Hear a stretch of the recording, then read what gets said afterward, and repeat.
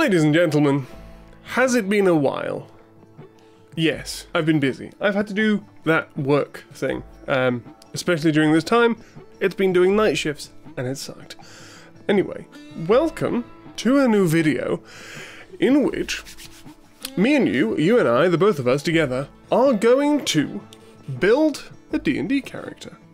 Now, not just make the character sheet in a way that you can use them, but we're actually going to make a character, not just a stat sheet. You follow?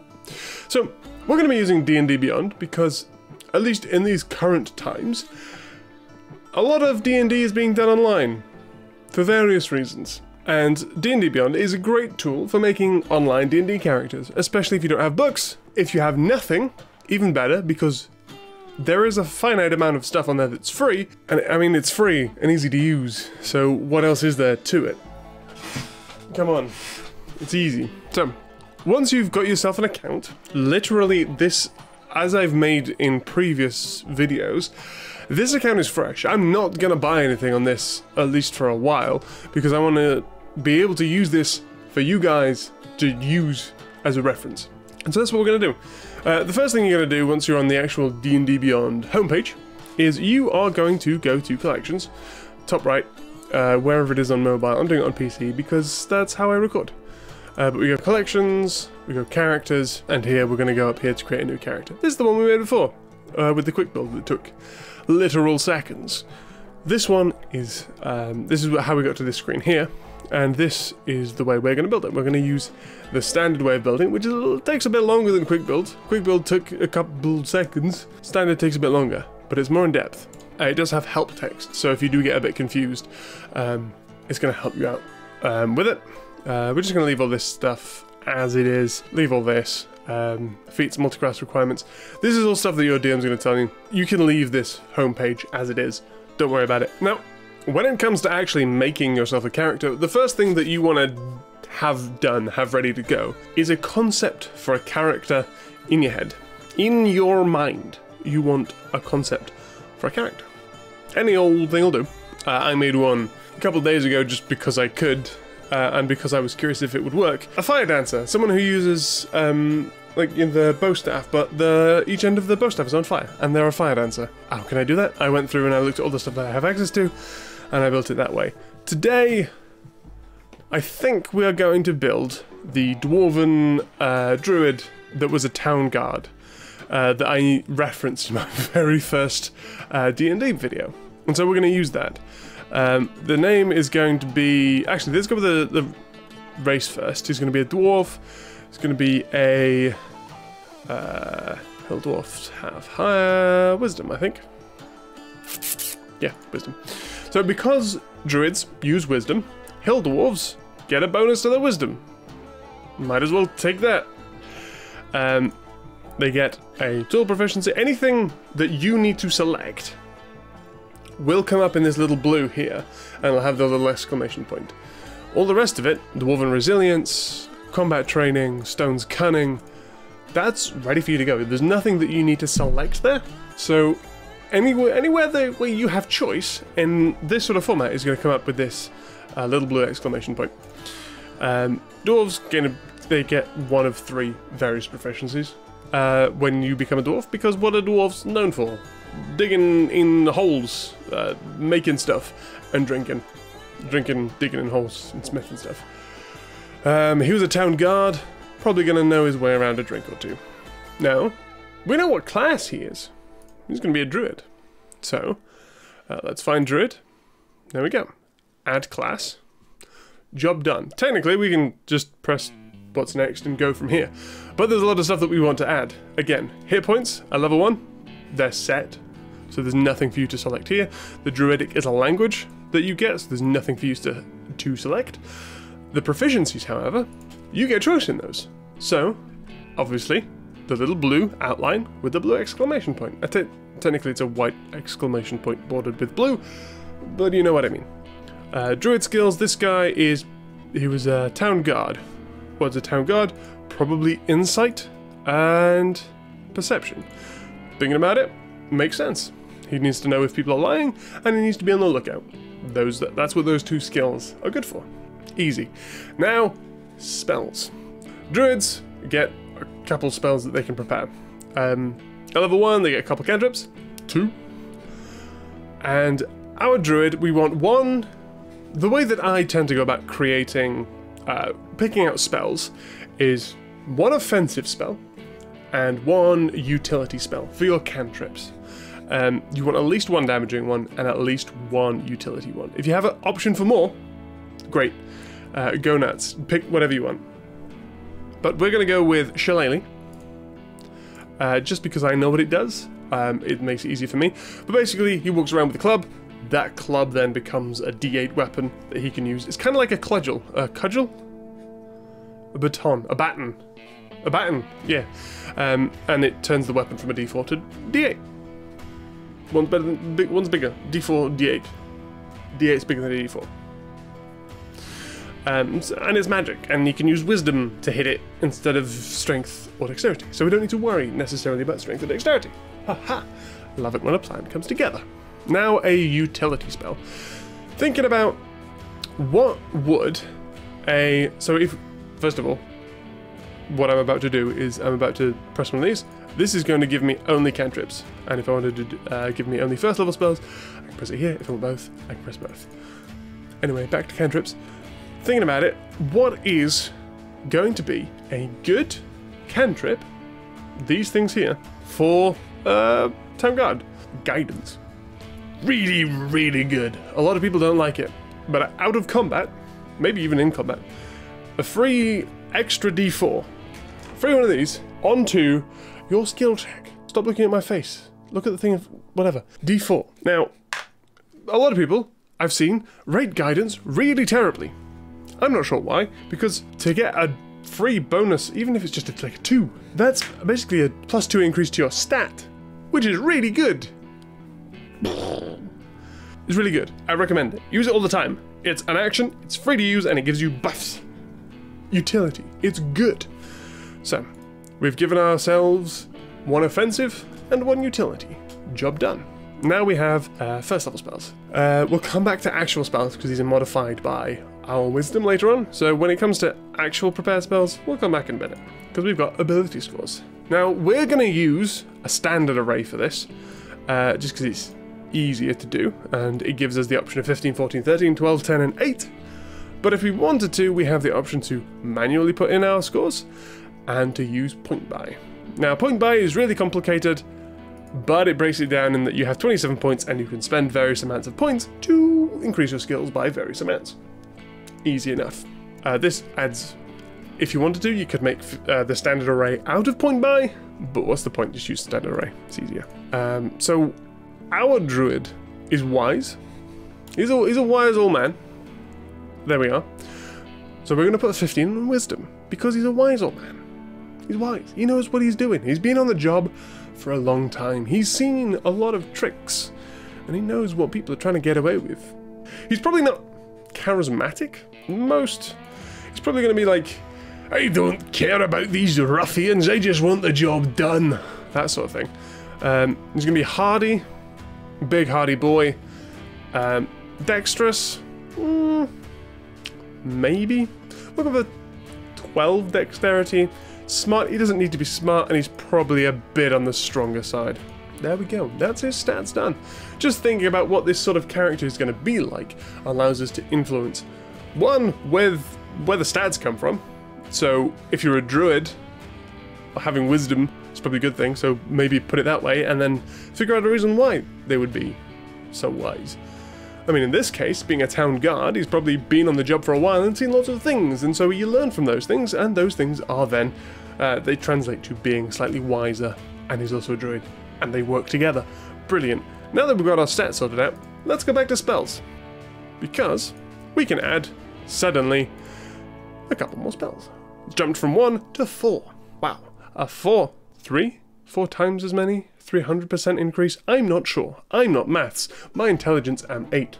So for actual first level spells, again, one utility, one damage, whatever else you want from there. So for damage, this guy is probably up close. We gave him Shillelagh. because he's going to be up close and hitting people with a cudgel or a club or something. Either you can go with Faerie Fire, which is going to a massive 20 foot cubic 20 foot cubic area that's going to be lit up uh, with this faerie fire, and it's going to make people easier to head over the head with your cudgel if they don't make their save. Pretty good idea.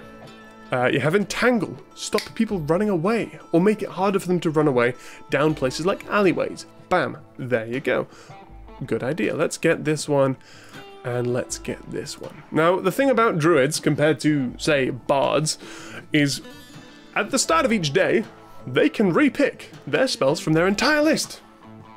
So it doesn't necessarily matter. Because um, you can always change them the next day. But we're also going to go with uh, Cure Wounds. Because if you can heal, unless you're playing into a character that doesn't heal for a reason, why not take it? It's, it's pretty good. So now we have a healing spell, a couple of uh, utility spells. Now what about a damage spell? Well, there's a few ways we can go about doing this. We can either go for absorb elements.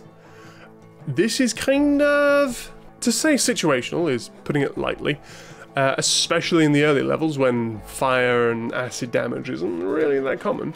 Uh, maybe a bit of a waste early on, but what it allows you to do is take less damage from the element that caused you to use the spell, and then be able to deal that damage back. So later on, it can be pretty cool, but early on, um, then we have Ice Knife. This is pretty cool. You can throw uh, an ice knife to someone and then it will explode into shards from that area, potentially dealing quite a bit of damage. Alternatively, Thunder Wave. A big 15 foot area around you, 15 foot cube, so three squares out if you're using a battle map, and then all the way around.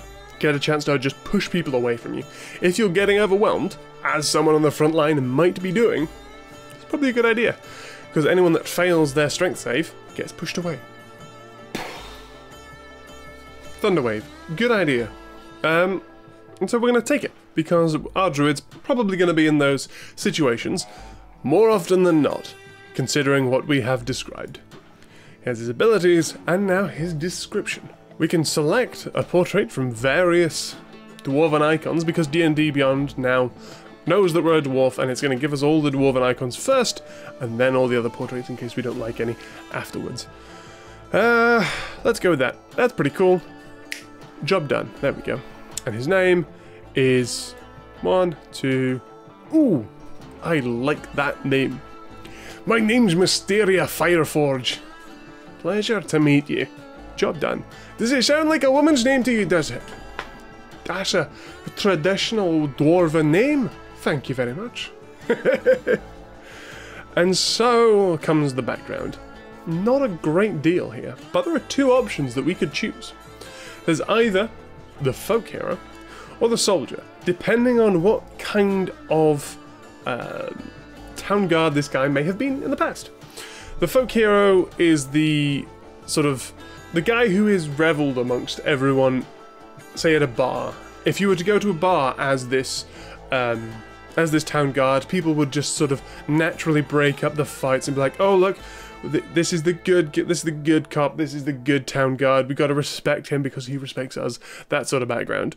Or we can go for the soldier and be the guy who's sort of more. I mean, it says it right there, intimidating, and comes in and just rips people apart. It's like, right, that's enough. You out of the bar. You out of the bar. Depending on what way you want to go with it. Considering this guy's got a low charisma, the soldier's probably more towards where he's going. Uh, and then we get a game set. This is literally just flavor. Um, in my many years of playing uh, 5e, I have never once used any of these. If your Dungeon Master does, amazing. But I've never had players really want to play it either as a DM. So uh, at this point, it's more flavor. And if you do end up using it, great. Oh my god, I've never used it before. Um, but I like to go with the dice set. Why not? And it gives you a feature. Uh, you have um, authority. So, say if he was a town guard captain, he would have a bit of influence over the everyone beneath him, and you could use those uh, people to maybe help you out with some things. Now, suggested characteristics. These are what really build out a character. Personality traits, choose two. Um, these things are sort of the outward appearance of um, this character. So, for instance, he can stare down a hellhound without flinching. You know what? That kind of seems right for this guy. He's fed up with being a town guard, and if a hellhound would uh, um, hunt him down, he'd be like, I'm two days from retirement. I know how this goes. And so he probably wouldn't flinch. He'd be all for it. What other thing? He enjoys being. He's not massively strong. Probably a crude sense of humor. These things make sense. And they work there. You don't have to necessarily stick to these things, but they're good.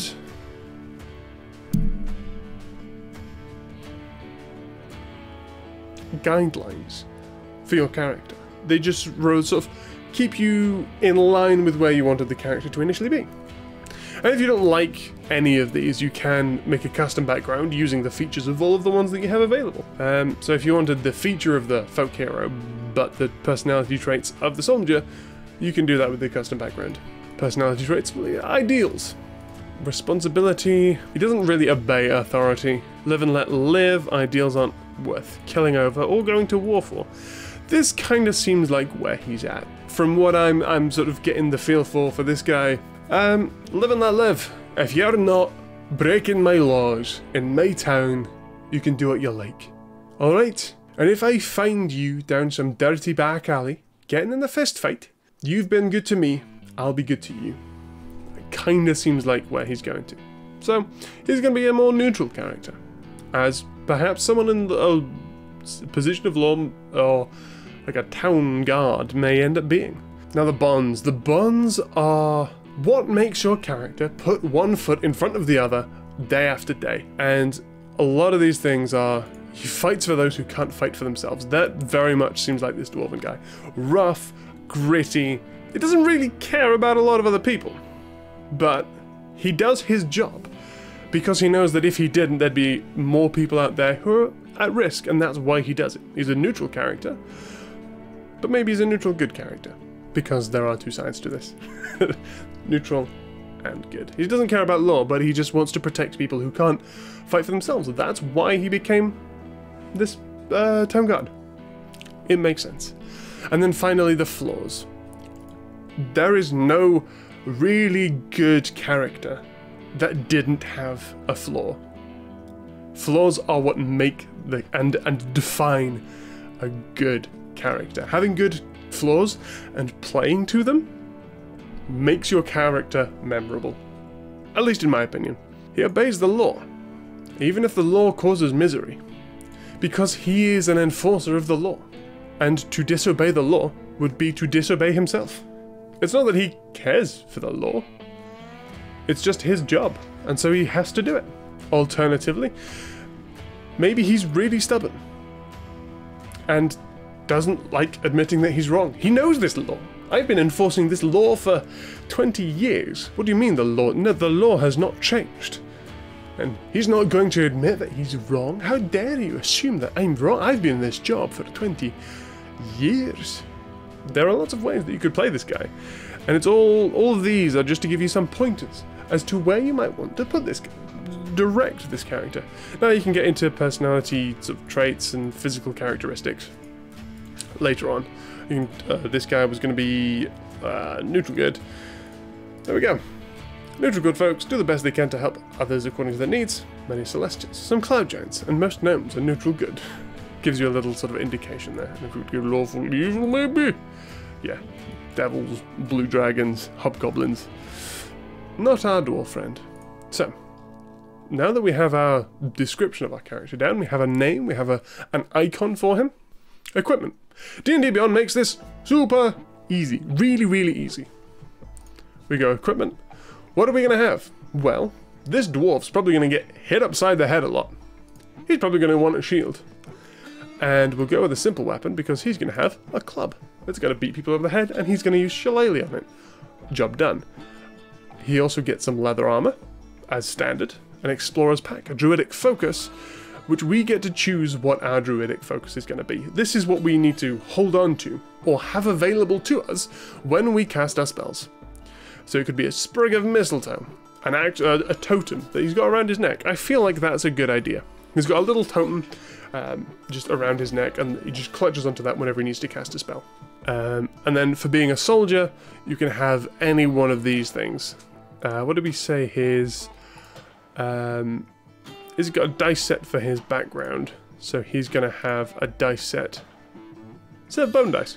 There we go. It all works together. So wooden shield, simple weapon being a club. We're going to have a totem. And then for the starting equipment, realistically, what is this guy going to have?